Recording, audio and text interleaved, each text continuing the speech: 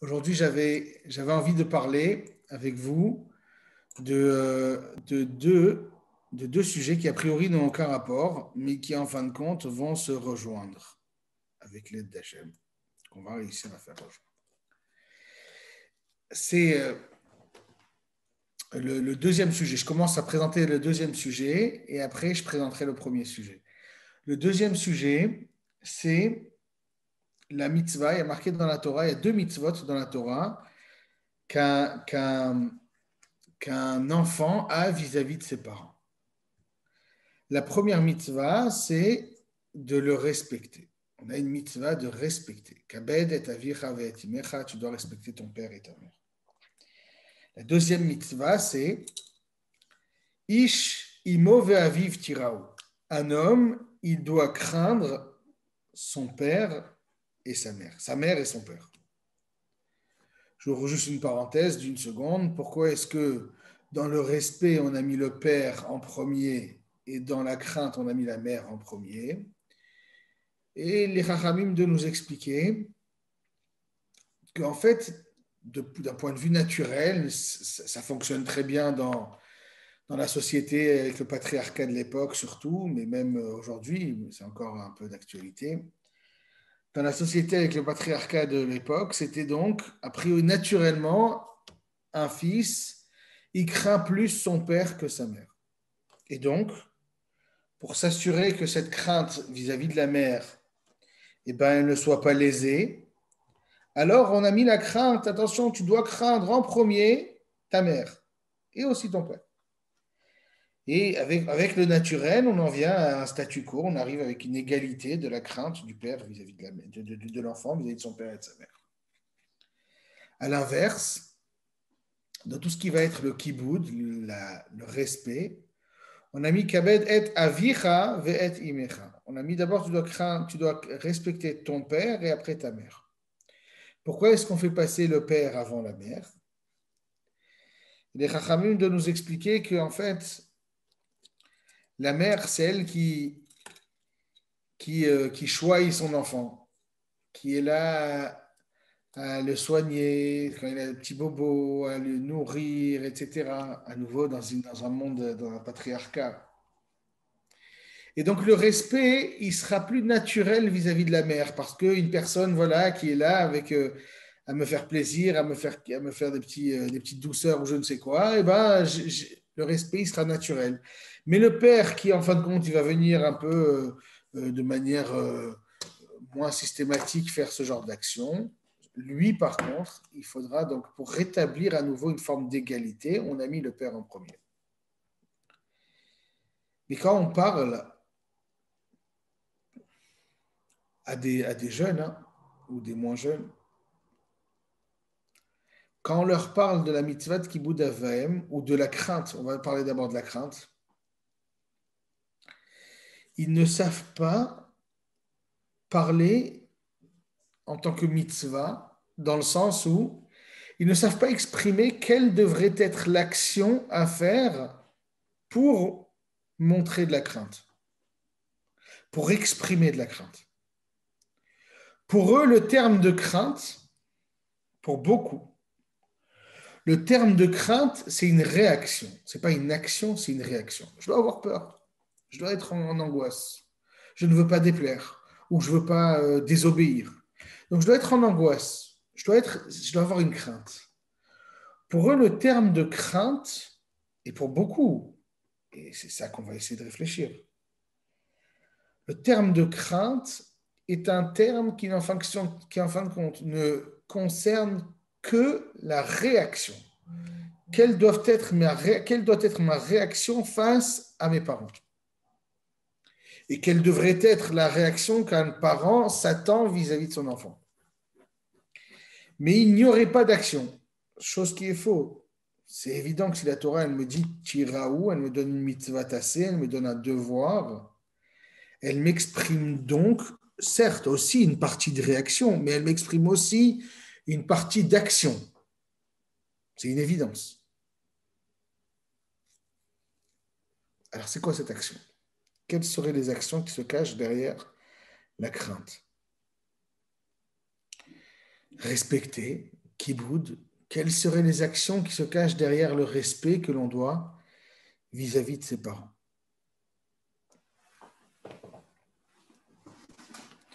Il y a des actions, il y a des actions très claires. L'Agmara, elle, elle, elle, elle, les cite.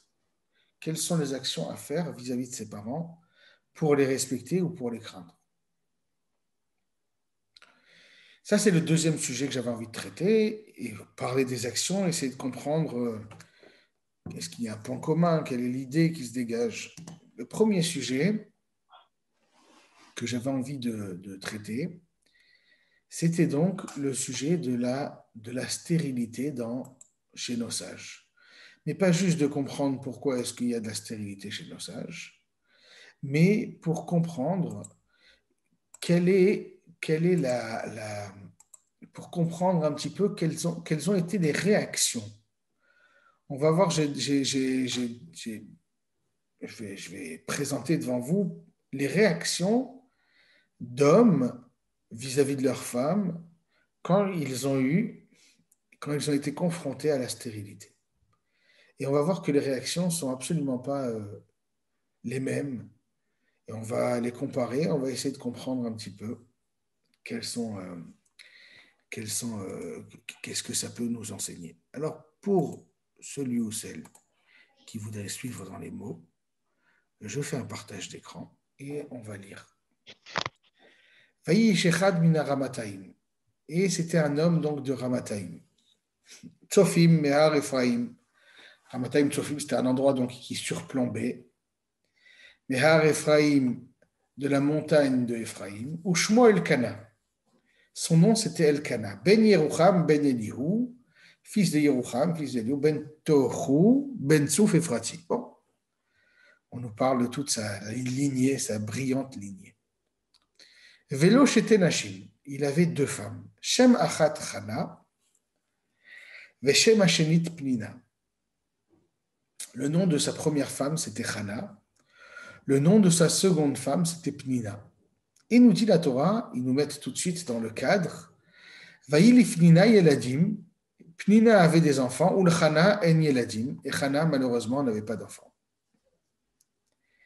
Ve'ala ha'ishahu mi'iro miyamim yamima. Chaque année, cet homme, Elkana, montait de sa ville, depuis l'endroit où il habitait, Miami Mamia, d'année en année, Leishtachavot pour se prosterner, Velisboach Lachem Tsevaot Beshilo, et pour offrir un sacrifice à Hachem, dans le, là où il y avait le Mishkan, le temple à Shiloh, dans la ville de Shiloh. Vesham Shene Bene Eli. Et là-bas servaient les deux fils de Eli. Eli, c'était le Kohen Gadol. Chofni ou Pinchas. Donc les deux fils s'appelaient Chofni et Pinchas, Kohanim Lachem. Ils étaient des Kohanim pour Hachem. La Torah nous fait remarquer que Elkanah était un homme très pieux, très, très juste, très doux, qui chaque année, pour monter à Yerushalayim, prenait un autre chemin. Et à chaque fois, il s'arrêtait dans les villes et il essayait de convaincre les Juifs de, de, monter avec lui. Et donc, une fois, il passait par telle ville, une fois par une autre ville, une fois par une autre ville, etc. Et à chaque fois, il, est convaincu de monter, d'aller avec lui à Shiloh. Comme ça, chaque année, après, il se retrouvait, il faisait. Donc, c'était un homme adoré de tous, il arrivait à les convaincre. Pasouk Dalet. Vaïhi Ayom. Et ce fut le jour. Vaïsbach Elkana. Elkana a donc fait son korban, son sacrifice. Venatan Pnina Ishto, il donne une partie à sa femme, Pnina, ou banea, à tous ses fils, ou bnotea, à toutes ses filles, manot, il a donné à chacun une part. Ou le chana, et à chana, yiten mana il lui donnait une double part à. Il lui donnait une double part. Qui est chana ahev, parce qu'il adorait chana. Vachem Sagar Rachma, et Hachem, il lui avait fermé son utérus, il lui avait pas donné la possibilité d'avoir des enfants. Mais Hana, elle était. Euh, alors, il essayait un petit peu de la consoler comme ça, en lui donnant une grande part. Mais elle s'énervait énormément. Qui s'agar Hachem parce qu'elle se sentait frustrée de ne pas avoir d'enfants. C'est ça qu'il faisait d'année en année, à chaque fois qu'il montait dans la maison de Dieu. Comme ça, elle s'énervait. Elle pleurait, et cette année-là, elle n'avait même pas voulu manger. El son mari, lui dit Chana. Donc, elle est très frustrée, elle souffre beaucoup de sa stérilité. Et donc, on va voir la réaction d'un mari qui s'appelle Elkana face à sa femme. Donc, le mari lui-même ne souffre pas de cette stérilité parce que lui, il a d'autres enfants vis-à-vis d'une autre femme. Qu'est-ce qu'il va pouvoir lui dire à sa femme pour essayer de lui remonter le moral? Son mari lui dit Hana, Hana, lama tivki, pourquoi tu pleures? Velama pourquoi tu ne manges pas? Pourquoi ton cœur est mauvais? Allô, voici, je suis bon pour toi, mais Asarabanim, comme dix enfants. L'amour que je te porte, la considération que je te donne, elle est si grande que dix enfants ne pourront pas te donner autant d'amour et autant de considération et autant d'existence. Donc console-toi par ma présence et par mon amour. C'est pas mal comme réaction du père, du mari, mais ça, va pas suffire, ça ne va pas suffire. Pasukret. Pardon, pasuktet. Vatakom Chana. Chana se lève. Achare ochla beshilo, après qu'elle ait mangé à Shiloh, achare château, après qu'elle ait bu. Vers à Cohen, alors que le Cohen s'appelait Eli, comme on l'a expliqué. Yoshev Alakise était installé sur son trône al mezuzat echal Hashem, sur, à la porte, à l'entrée de la porte de la maison d'Hachem. Vihi marat nafesh. Et elle est très amère. Vatit palel al Hashem, elle prie al Hashem, contre Hashem. Elle se plaint. Ou bachotivke, et elle pleure. Pasuk Yudalef, vatidor neder vatomar. Elle fait un vœu et elle dit Hashem Tsevaot. Hachem, Dieu des armées. Imrao be'ani amatecha. Si tu vois la souffrance de ta servante. Uschartani, tu te souviens. Velotishkach, tu n'oublies pas. Et amatecha, ta servante.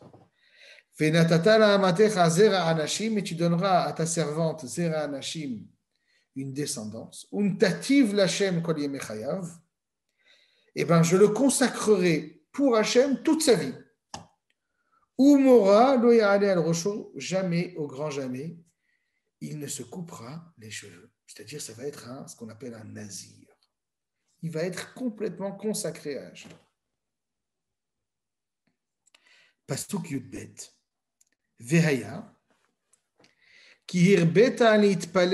Hachem. Et alors, maintenant qu'elle a tellement demandé de prier devant Hachem, Eli Shomer et Pia. Et Eli, il regarde ses lèvres. Il voit qu'elle bouge les lèvres. Et Hana, elle parle avec son cœur. Rak. Il y a juste ses lèvres qui bougent, qui bougent. Et sa voix n'était pas entendue. À Eli les Donc imaginez, vous voyez une femme debout, qui bouge comme ça, qui fait des gestes avec sa bouche, qui bouge, qui fait des gestes avec sa bouche, avec sa, bouche bouge, mais on n'entend pas de mots. On se dit, cette femme, euh, elle est sûrement euh, qu'elle a un peu trop bu. Et c'est ça qu'il a pensé. Elia Cohen. Elia Cohen, il a dit, à mon avis, cette femme, elle est, elle est sous et alors Eli lui dit, jusqu'à quand est-ce que tu vas te saouler? Enlève-moi ce vin qui est sur toi. Pasuk tetvav, vata'an Hana vatomer. Hana lui répond, Lo Adoni, non monsieur. Isha keshat je suis une femme qui est, qui est froide, qui a, qui a le, le, l'esprit euh, refroidi. Veyain veshechar lo shatiti, mais j'ai toute ma tête. J'ai pas bu d'alcool ni de vin. Et j'ai épanché mon âme devant belial. Ne me prends pas pour une fille légère. Qui vecha asi, car avec l'abondance de ma parole, de, mes paroles et de, mon, de, ma souffrance, j'ai parlé avec mon cœur jusqu'à maintenant. Vaya'an Eli Vayomer, Eli, du coup, il se rend compte qu'il a mal jugé. Alors il va lui dire Lechi Shalom, pars en paix. Veloke Israël, le Dieu d'Israël, la terre, il va répondre à ta question, à chercher Alt Menimo, que tu lui as demandé. Vatomer, et elle lui répond Timtsa Shifratecha Be'enecha, que je puisse trouver grâce à tes yeux. La femme est partie, elle a pris la route, Vatochal, elle a été mangée, et elle ne faisait plus la tête, elle était libérée parce qu'elle avait réussi à prier de manière intense, donc elle sentait vraiment qu'elle avait, qu'elle avait réussi à, épancher son cœur. Et deuxième raison pour laquelle elle est libérée, c'est qu'elle a reçu la bracha du Kohen Gadol, du Kohen Gadol à Eli. Pasuk tête. Vayashkimu baboker. Ils se sont levés le matin ils se sont à nouveau prosternés devant Hachem. Ils sont revenus dans leur maison de Rama, à Rama. Et là, il a une relation avec sa femme Hana, et Hachem s'est souvenu d'elle. Et ce fut à ce moment-là, Hana Ben, Hana tombe enceinte. Ben, c'est un fils. Vatikra Shemo Shemuel. Elle l'a appelé Shemuel, qui met Hachem chez car c'est de Hachem que je l'ai demandé.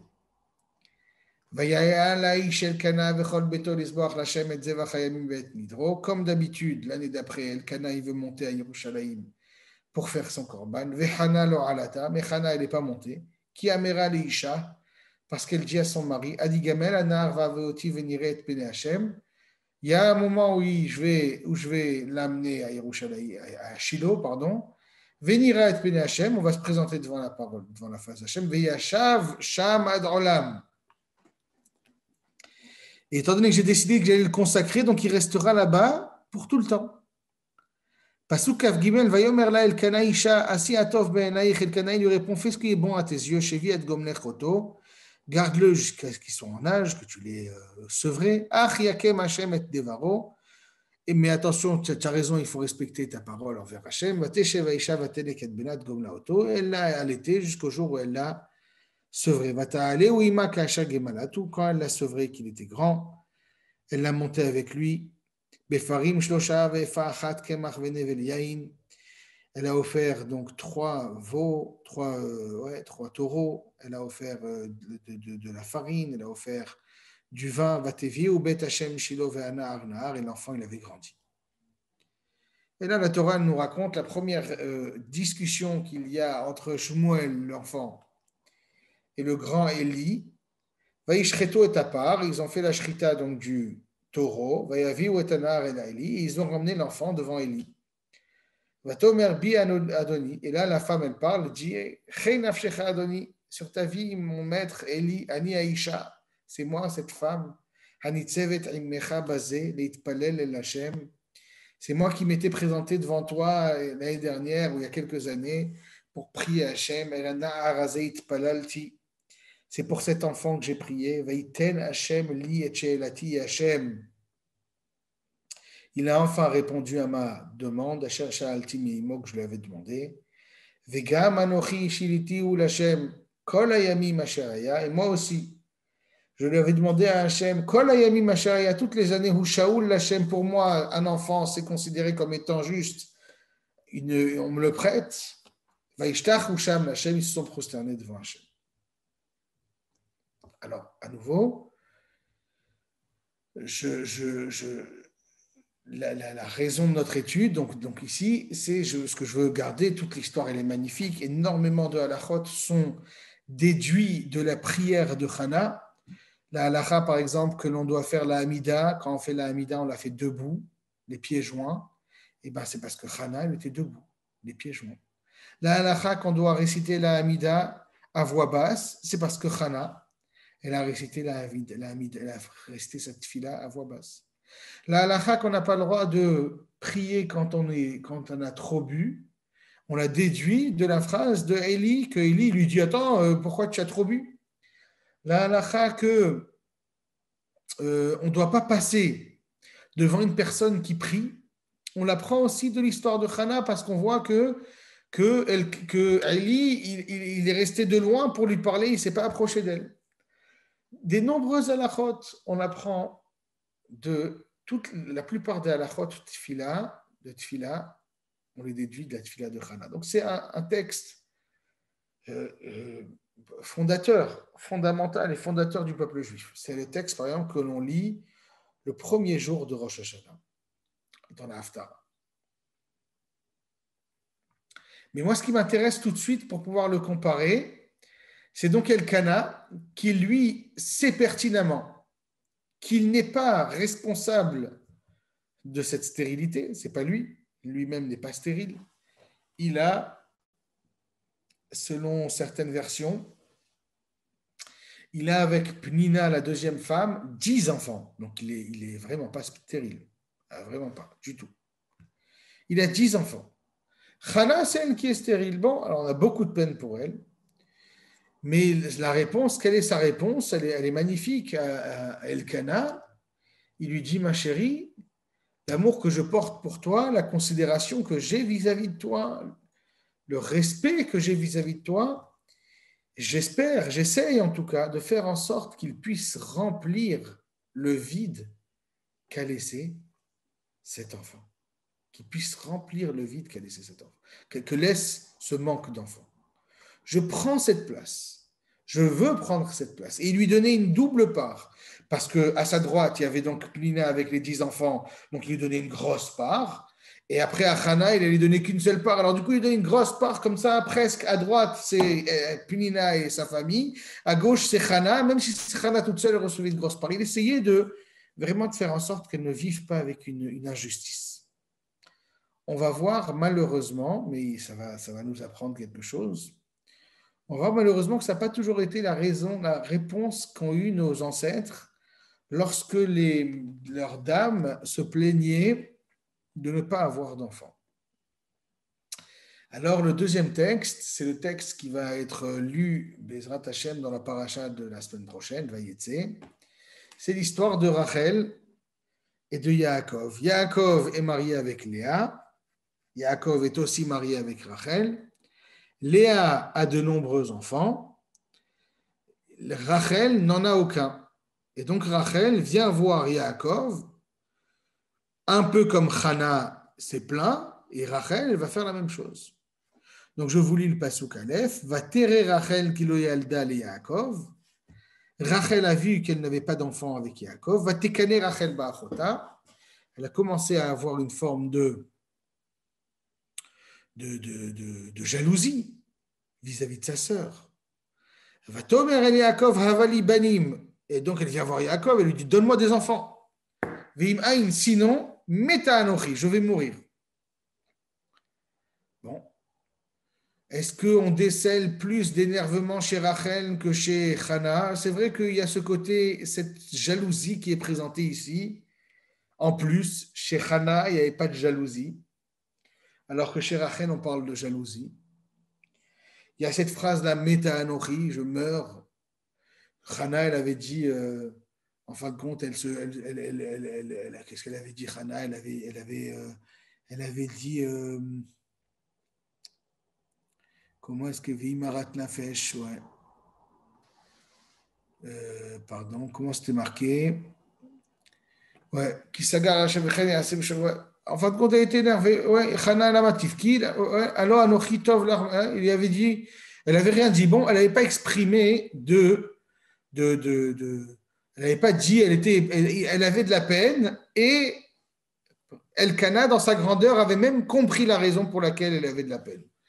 Le pasouk dans Hanan ne nous expliquait pas pourquoi est-ce que comment est-ce que cette peine s'exprimait Juste, elle mangeait pas, elle pleurait. Bon, mais elle n'a jamais parlé à Elkana. Et ici, Rachel, non seulement elle avait de la peine, elle était jalouse, et en plus, c'est pas Elkana qui, c'est pas Yaakov qui vient la voir comme Elkana l'avait fait, mais euh, c'est, c'est, elle qui doit lui dire sinon je vais mourir.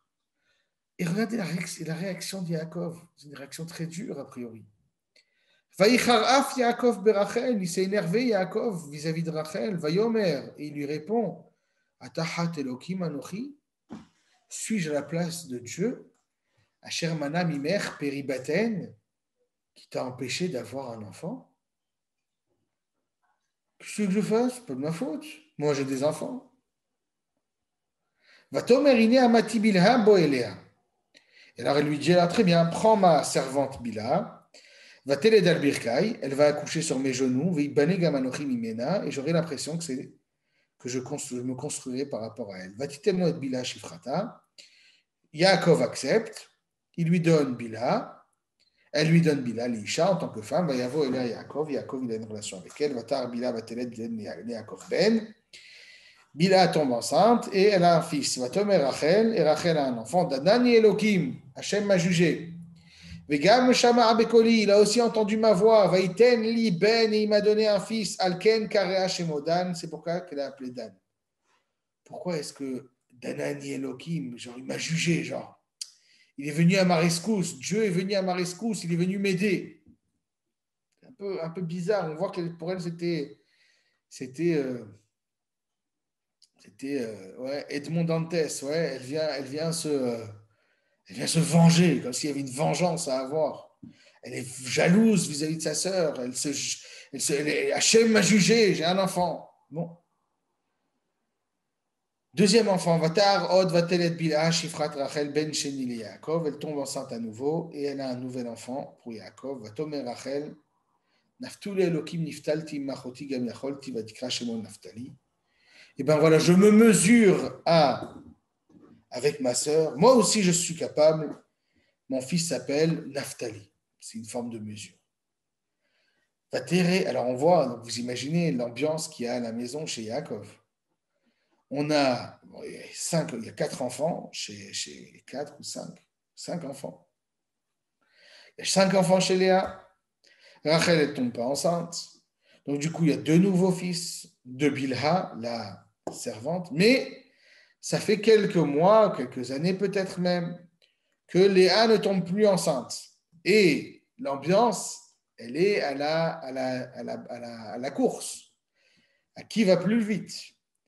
Et la preuve, c'est qu'elle donne des noms, Rachel, à ses enfants, qui sont clairement des attaques à peine déguisées, hein, à peine cachées, de Rachel face à sa sœur Léa. Voilà, Dieu m'a jugé, c'est moi qui ai raison. Dieu m'a mesuré, voilà, je me mesure avec toi, je vais aller plus vite.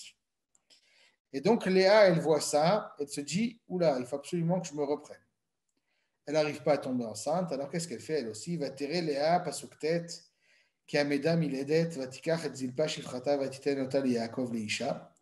Là, sans aucune discussion entre Léa et Yaakov, elle n'est pas venue dire Écoute, Yaakov, euh, j'ai pas d'enfant.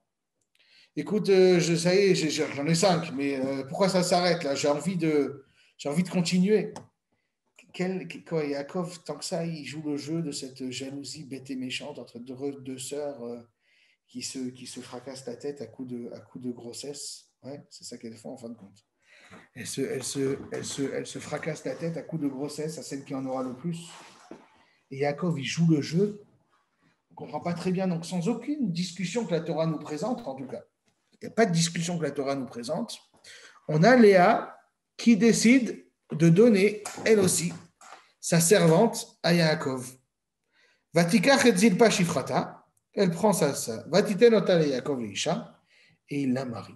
Pas ce cul, zilpa shifrat le Yaakov ben. Zilpa donne un enfant, un fils. Vatomer lea ba Gad, est venu Gad, la chance. Vatikra et shemo Gad, elle l'a appelé Gad. Moi aussi j'ai ma chance, lui dit Léa, moi aussi j'ai un enfant. Vatelet Zilpa Shifrat Lea ben Yaakov. Zilpa lui donne un deuxième enfant. Vatomer Lea Beoshri Sheoni Banot. Vatikret Shemo Asher. Parmi toutes les filles, je suis rempli de joie. Et donc, elle l'appelle Asher. Bon. Ici, on a une réaction un peu bizarre de Yaakov. Et, elle dénote délibérément, je n'ai pas été dans l'ordre. Le premier qui a connu la, la, stérilité, c'est Abraham. Je l'ai pas, on je l'ai mis en, après. Le deuxième, c'est Yitzhak qui a connu la, la, la stérilité. Le troisième, c'est Yaakov qui a connu la stérilité vis-à-vis de Rachel. Et bien plus tard dans l'histoire, il va y avoir Elkanah. Exprès, j'ai mis Elkanah en premier parce que je voulais quand même voir que chez nos ancêtres, il y a des, gentlemen qui traitent la souffrance de leur femme avec beaucoup, beaucoup, beaucoup de, gentillesse, beaucoup de, ils sont très avenants, très, euh, ils, prennent les choses en main. Elkana voit sa femme souffrir, il, il comprend pourquoi.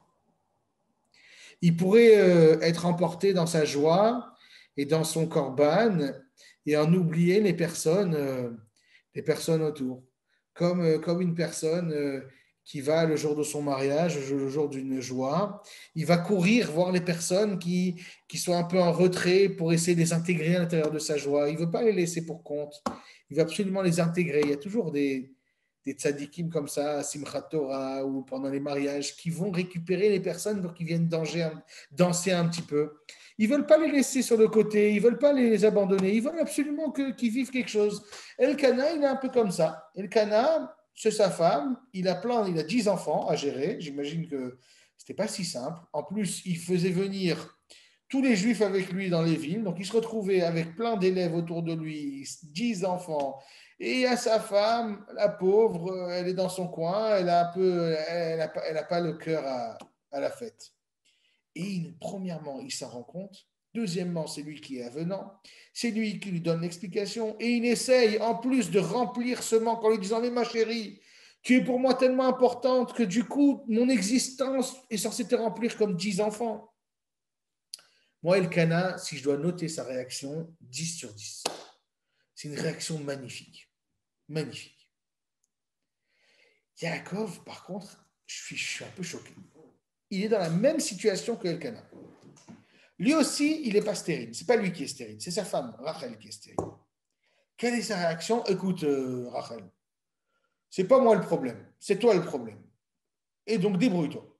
Ah, tu veux Bon, prier, jamais de la vie. On ne voit pas Yaakov prier. Ouais, Elkana, c'est vrai aussi, on n'a pas vu prier. Mais bon, prière, il n'y a pas de prière. En tout cas, ce n'est pas présenté. Alors, on, est face à, une, impasse. Alors, prends une autre femme. Ok, je prends une autre femme avec plaisir. Léa, prends une autre femme. Ok, on prend une autre femme. Il n'y a pas de, discussion, il n'y a pas de tentative d'apaisement, il n'y a même pas de prière. On est un peu choqué. Le texte d'après, c'est celui d'Yitzhak. ben Avram, Avram et Voici la descendance de Yitzhak, fils d'Avram. Avram, Oli et Yitzhak. Avram, il a donner naissance à Yitzhak. La Torah, elle est très, elle est très redondante. C'est la, c'est paracha qu'on, a lu Shabbat. Elle est redondante parce que Yitzhak est né juste après que Sarah se soit et passé la nuit avec le roi Avimelech. Et étant donné qu'elle a passé la nuit avec le roi Avimelech, tout le monde disait qu'en fin de compte, Yitzhak n'était pas le fils d'Abraham, mais que Yitzhak était le fils de Avimelech. Et donc, du coup, Hachem, il a fait un miracle. Il a fait en sorte que Yitzhak ressemblait comme deux gouttes d'eau à Abraham. Comme ça, personne ne peut dire que ce n'était pas son fils. Vaï Yitzhak ben Arbaim Shala Bekarto Rivka. Il avait 40 ans lorsqu'il a pris sa femme Rivka, Bat Betuel Arami, la fille de Betuel, mi Padan Aram, de la ville de Padan Aram. Achot Lavan Arami le Leisha, la sœur de Lavan l'Araméen, pour femme. Il l'a prise pour femme. Vaï Etar Yitzhak Lachem Lenochachishto. Et là, du coup, ils n'ont toujours pas d'enfants. Ça fait 20 ans qu'ils sont mariés. Yitzhak va prier Hachem en même temps que sa femme, qui a Akaraï parce qu'elle est stérile. Hachem va écouter la prière de Yitzhak, va tahar Rivka Ishto, et sa femme va tomber enceinte. Donc ici, on n'a pas de discussion, on n'a pas de souffrance de Rivka, on ne décrit pas, on voit une souffrance presque à l'unisson. Yitzhak et Rivka, les deux, souffrent à l'unisson. Les deux donc prennent naturellement ensemble le livre de prière pour prier Hachem. Les deux prient, et bon, la Torah nous précise que c'est Yitzhak qui a été, c'est la prière de Yitzhak qui a été exaucée. C'est un autre sujet. Mais ici, au moins, on voit une souffrance à l'unisson, une prise en main de Yitzhak pour la prière, autant que sa femme Rivka. Il ne cherche pas à aller voir ailleurs, ou sa femme ne cherche même pas à lui emmener quelqu'un d'autre.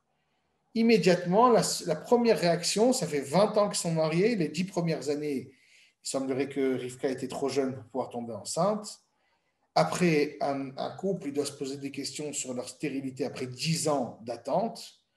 Donc ça fait 20 ans qu'ils attendent, d'accord? Ça fait 10 ans qu'ils attendent réellement. Ça fait 10 ans qu'ils attendent.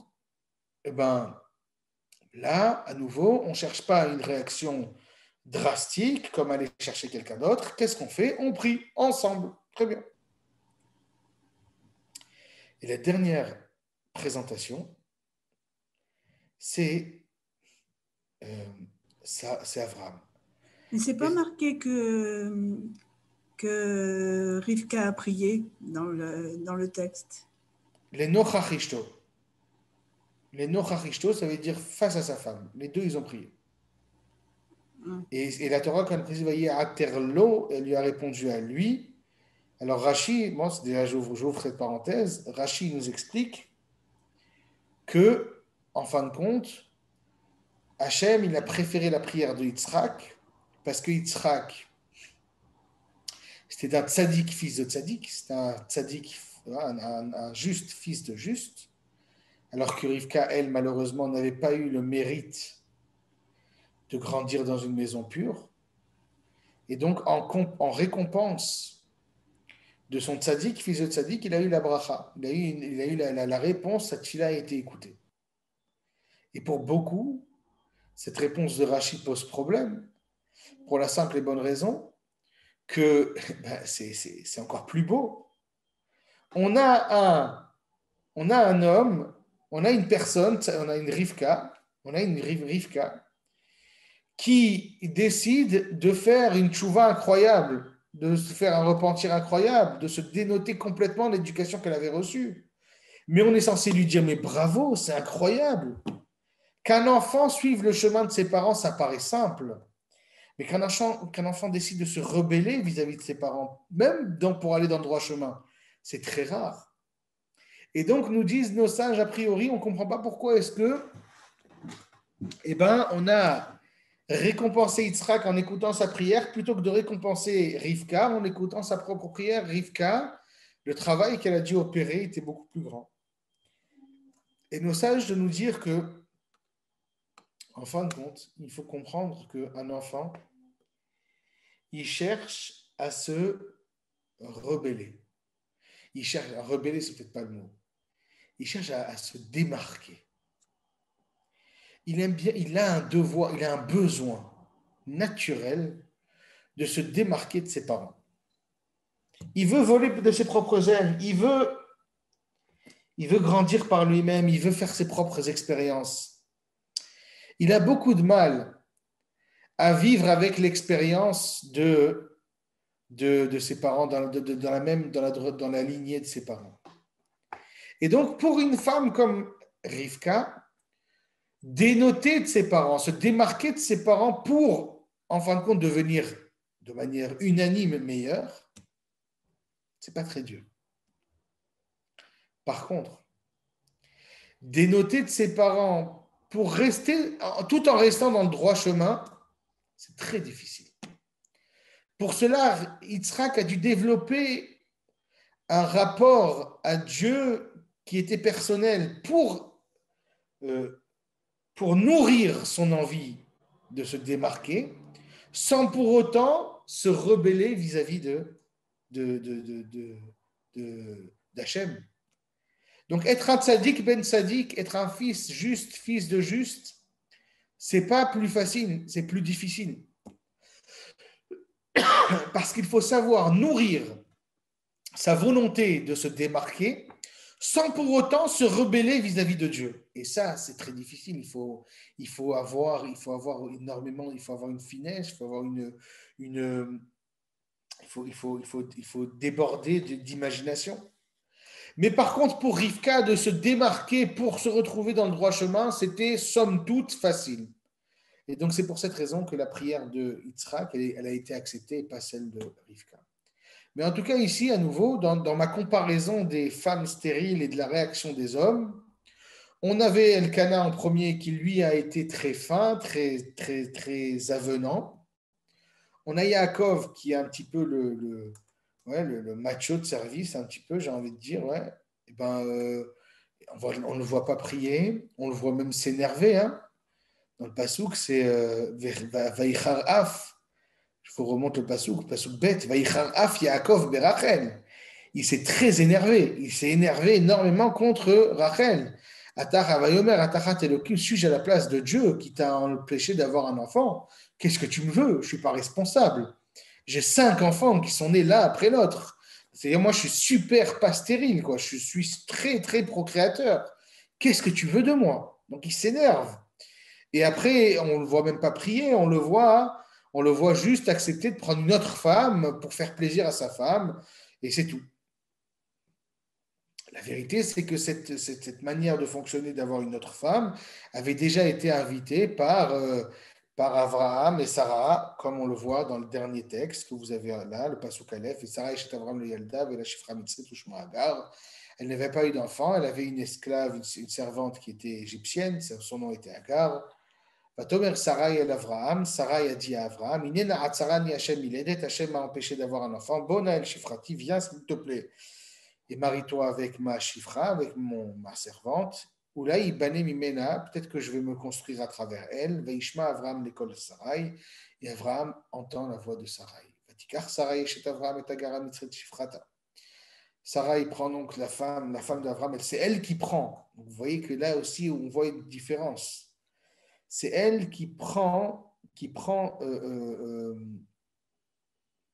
euh, qui prend sa femme, pour qui prend sa servante pour l'emmener chez chez Abraham. Miket Secher Shanim après 10 ans, le chevet Avraham Beretz qu'il avait habité en Kenan, va titer à Avraham l'Isha, lo l'Isha, il avait pris en tant que femme pour femme. Voilà quatre réactions de quatre hommes, quatre grands hommes vis-à-vis de la stérilité de leur femme. Et là, je vous avais dit, bon, il ne reste plus, mais je vous avais dit qu'on allait parler de, de, et je vais vous expliquer pourquoi, qu'on allait parler de, de, de du respect et de la crainte qu'un enfant doit avoir vis-à-vis de son père et de sa mère. Et la Torah voulait absolument que ce respect et cette crainte soient à égalité entre la mère et le père. Donc là où la crainte était plus difficile vis-à-vis de la mère, la mère a été positionnée en premier vis-à-vis de la crainte. Là où le respect était plus naturel pour la mère, on a mis le père en premier vis-à-vis -vis du respect. Comme ça, au moins, ils sont à égalité l'une des, manières de, respect, de craindre son père et sa mère, nous dit la Gemara, c'est de ne pas le contredire. Et pas seulement ne pas le contredire, c'est de ne pas même lui dire, lorsqu'ils sont en discussion, ils sont en pleine discussion entre mon oncle et, mon, ma mère, ma tante et ma mère qui discutent.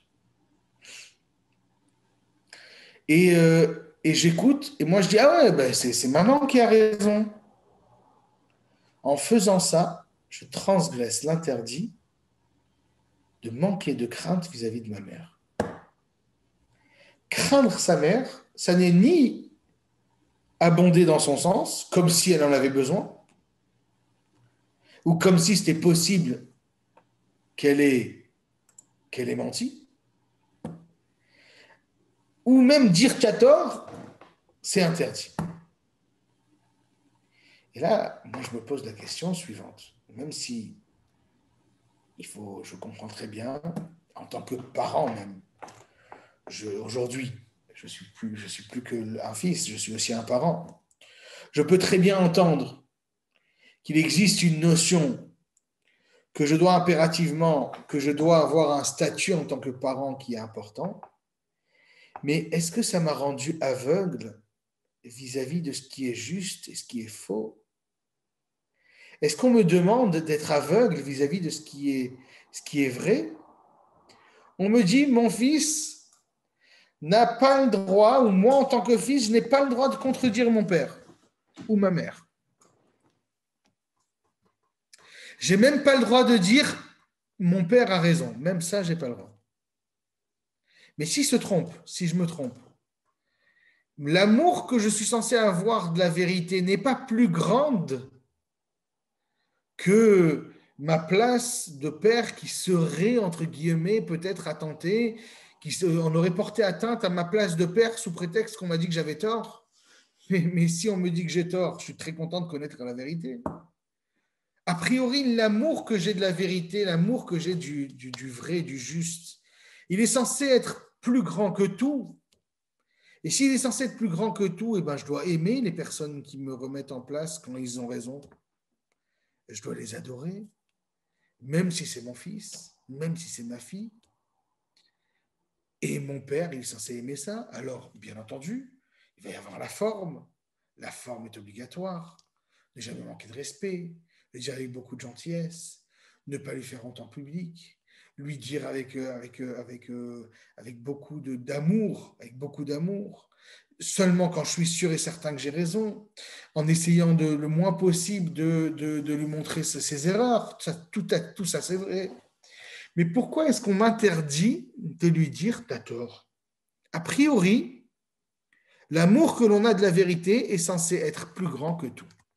Et je suis censé pouvoir dire à mon père ou à ma mère, tu as tort. Je suis censé, moi, en tant que père, accepter d'entendre tu as tort ou tu as raison. Pourtant, on nous refuse par euh, euh, devoir de, de, de respect ou de crainte, on nous refuse le droit de dire ça à son père ou à sa mère. Alors, ça paraît, ça paraît, euh, ça paraît fou. Alors, à travers l'étude, à travers l'introduction qu'on a fait, très grande introduction, de la réaction qu'il y a entre un mari et sa femme sur la stérilité, eh ben, on va peut-être comprendre un petit peu eh ben, cette notion de, filiation. Ouais, cette notion de filiation, cette notion de devoir de filiation, cette notion de devoir de se reproduire, c'est une mitzvah de se reproduire, d'avoir des enfants. Cette notion de, de, de, de vouloir tellement, euh, euh, d'avoir tellement cette envie que nos ancêtres ont eu d'avoir des enfants, ça va nous donner une réflexion en fait à avoir sur le, sur le rôle d'un père vis-à-vis de son fils. Alors, dans l'Agmara, dans, dans, dans Brachot, elle nous raconte que ce Shmuel, le Shmuel qui est né de la prière de Hana. Ce Shmuel, un jour, quand il est arrivé chez Élie, il a osé euh, prouver à Élie, de manière euh, certaine, que Élie s'était trompé. C'est quoi euh, Il y a marqué que Élie, il exigeait que tous les corbanotes, que tous les sacrifices soient euh, soit, soit tué, que l'animal devait être tué par le Cohen. Et Shmuel, il fait remarquer à Élie qu'à aucun moment dans la Torah, il est écrit que c'est le Cohen qui doit tuer la bête, qui doit lui faire la shrita. Il y a marqué que toutes les autres actions qui sont faites après la shrita devaient être faites par un Cohen. Mais la shrita elle-même, ce n'était pas fait par un Cohen. Et donc Shmuel fait remarquer à Élie que ça faisait quelques années qu'il avait imposé des choses qui étaient fausses. C'était absolument pas nécessaire de faire, euh, d'attendre qu'un Cohen fasse la shrita. Et Élie va lui dire, tu sais quoi, euh, Shmuel, tu as raison, mais tu mérites la mort. il dit pourquoi? Il dit parce que un élève n'a pas le droit de donner une halakha devant son maître. ça paraît démesuré un petit peu. Pour ça, il mérite la mort. Bon, Hana, elle va le sauver. Comment elle va le sauver? Ce sera euh, le sujet d'un autre petit déjeuner. Mais, mais, pourquoi est-ce que pourquoi est-ce qu'il faudrait tuer un élève qui contredit ou qui, ou qui, ou qui même pas qui contredit, qui donne une halakha devant son maître C'est tout ce qu'il a fait. Alors contredire, c'est encore pire. Abonder dans le sens, je ne sais pas si c'est encore pire, mais bon, ça a l'air d'être interdit aussi. Mais dire une halakha devant son maître, ça mérite la mort, mais ça paraît bizarre. Comment ça se fait? Et là, les Chachamim nous expliquent. Et c'est ça ici l'idée.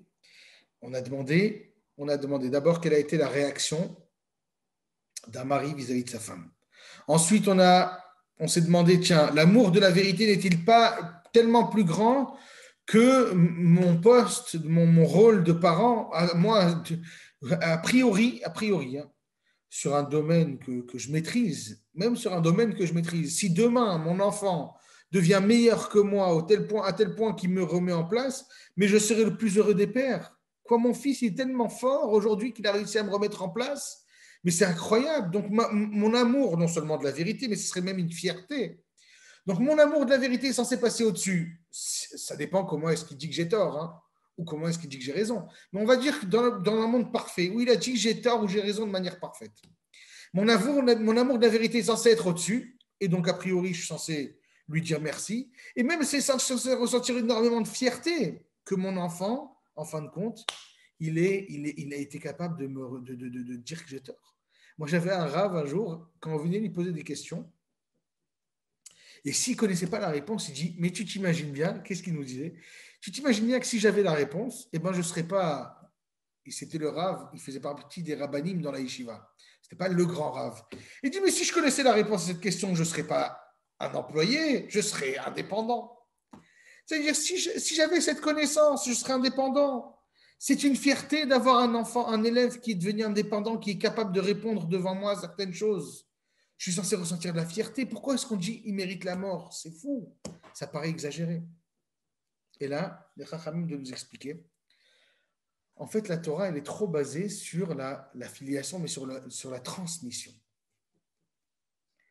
Je suis le mandataire des messages que mes rabbinim m'ont donnés. Eux-mêmes sont les mandataires d'un message qu'ils ont reçu, etc., etc. Et pourquoi est-ce que c'est comme ça que ça fonctionne? Parce que la première Torah, elle nous a été transmise de Hachem vers Moshe. Remettre en cause la filiation, c'est d'une certaine manière envisager que Moshe remette en cause ce que Hachem a dit. Le premier élève de l'histoire de l'humanité, c'est Moshe vis-à-vis d'Hachem. Je ne suis que la pâle imitation, moi vis-à-vis de mes maîtres, je ne suis que la pâle imitation du, du lien qui liait Moshe à Hachem. Si je me conduis d'une manière irrespectueuse ou si je fais comme si je pouvais énoncer des choses devant mon maître, ça veut dire que je donne la permission à Moshe d'en faire autant avec Hachem. Ça, c'est une catastrophe. Un homme qui fait ça. Abraham a fait ce qu'Abraham, il a discuté. il, a, par rapport au... C'est vrai, par rapport au sauvetage des villes, mais, mais si, on, si on étudie la discussion, on va voir qu'il lui demande de, de, de, de faire, de, de, faire, euh, valoir, de faire valoir sa gentillesse. Pas que son jugement était, était, était infondé. Ton jugement est fondé, mais si, peut-être que 10 suffirait dans chaque ville. Il y avait 5 villes, ça ferait 50. Peut-être que 10 suffirait. Et que, en fin de compte, Dieu, avec ta miséricorde, tu pourrais euh, non pas dire qu'il ne mérite pas, mais changer un petit peu de, volonté de, jugement. Mais c'est vrai que c'est très tendancieux hein, ce que Avram Avinu a fait. Et, c'est très c'est tendancieux, ça veut dire c'est, il était borderline, il était, vraiment euh, sur les, sur les, sur les, il était euh, comme ça, il était, c'était compliqué. Pardon, pardon, hein, c'était juste un petit clin d'œil. Mais vous avez entièrement raison, c'est très juste ce que vous avez fait, c'est très juste ce que vous avez dit. Mais c'était, ça, ça, reste que a priori, un maître, un élève, pardon, il doit, il doit, il doit être capable de de son maître. Alors pour ça qu'on parle de son maître, par exemple, de, pas d'un maître. D'un maître, on aurait le droit, de son maître à lui, celui qui lui a transmis. Celui qui lui a transmis, il doit y avoir cette notion, comme Hachem a donné à Moshe, ben moi aussi j'ai reçu de mon maître qui m'a transmis ma halacha. Les autres maîtres, à la limite, la halachot, elles sont moins dures. Les règles vis-à-vis des autres maîtres, elles sont moins dures. Mais vis-à-vis de son maître, eh ben, il y a un devoir de soumission, ce n'est pas le bon mot, mais d'acceptation, de, se mettre, sous, euh, euh, dans la filiation. Pourquoi? Parce qu'on doit ressembler au lien qui a, qui a été lié entre Moshe et Hachem. Alors maintenant, ici, cette envie de filiation, cette envie de donner naissance, eh ben, en, fonction de la personne, ça va, en fonction de la personne, ça va donner des réactions différentes vis-à-vis -vis de la stérilité de sa femme, en fonction de l'autre. Une personne qui qui a déjà ce lien avec, avec, euh, avec, avec une femme, il aura beaucoup de mal à se dire tiens, il me faudrait aussi avec l'autre femme. Même si Elkana a réussi, Elkana il était spécial. Peut-être que Elkana avait vu en Hana, et bien mettre Hana, ça va devenir la, la mère de toute la prière. Donc il avait vu en Hana quelque chose de tellement grand qu'il s'est dit tant que j'ai pas de filiation avec elle, ça me manque aussi. Alors il lui dit, tu sais, regarde, notre lien peut-être, il crée une filiation. Et c'est pour ça que la Torah nous raconte qu'il créait des élèves un peu partout lorsqu'il les amenait tous à, Shiloh avec lui. Mais donc peut-être que notre lien, Hana et moi, Elkana, on a, on a créé quelque chose qui est de l'ordre de la filiation, qui est de l'ordre d'une existence autre que, nous. On a autre chose que nous. Peut-être que cette idée aussi de transmettre sa servante, eh ben, c'est une partie de moi qui, qui, crée quelque chose. Ça demande encore beaucoup, cette réflexion-là, il faut, il faut encore la mener pour savoir exactement quelles sont les réactions, est-ce que ça vient dénoter Il euh, n'y euh, a pas de souci, a pas de souci. Euh, au revoir. Donc, donc qu'est-ce que ça peut dénoter sur la personnalité d'une personne, sur son rôle dans le monde? Comment est-ce qu'il est et donc son, son attente d'un enfant, comment est-ce qu'il doit, il doit travailler, comment est-ce qu'il doit apprendre à travailler, comment est-ce qu'il doit apprendre à essayer de faire, de faire des enfants et donc du coup son rapport à l'enfant et aux, aux, autres va avoir une incidence sur son rapport à la stérilité de sa femme. Ça, c'est des, des, réflexions qu'il faut qu'on continue à essayer de, de, mener. Mais, mais en tout cas, euh, on, voit que cette idée de transmission, cette idée de, filiation, elle est très importante dans le, dans le, dans le judaïsme et elle a, elle a amené à, elle a amené à, des, à, cette idée que ça peut peut-être même plus important encore que la recherche de la vérité. La vérité, en fin de compte, elle n'est pas importante parce si elle remet en cause cette filiation, parce que la filiation serait peut-être beaucoup plus euh, euh, constructeur que toute, euh, beaucoup plus constructeur que toute recherche de vérité. Accepte car il n'annule pas le neder. Expliquez-nous. Kana, quand Rana lui dit qu'elle priait et tout ça, ah, il n'a pas annulé le neder au moment où elle lui a raconté. Alors qu'en fin de compte, ce neder, c'était de, se, séparer de son enfant. Exactement. Exactement. Donc ça veut dire il y a une forme de filiation qui peut exister même si c'est pas mon enfant qui est à côté de moi. Il y a aussi ça qu'il faut retenir. C'est pas juste une transmission par enfant, mon enfant il est là et je l'éduque. Ça peut même être il existe et il vit par lui-même et ça suffit comme étant une existence à part entière.